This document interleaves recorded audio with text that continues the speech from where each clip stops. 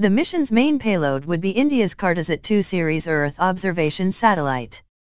It will be the first PSLV mission after the unsuccessful launch of navigation satellite IRNSS-1H in August. The mission would be a combination of 28 nanosatellites from foreign countries, including Finland and US. ISRO on Friday announced that it would launch 31 satellites, including India's Cartosat-2 series Earth observation spacecraft, in a single mission on board its Polar rocket on January 10. For more exclusive news subscribe to our channel and like and share thank you very much.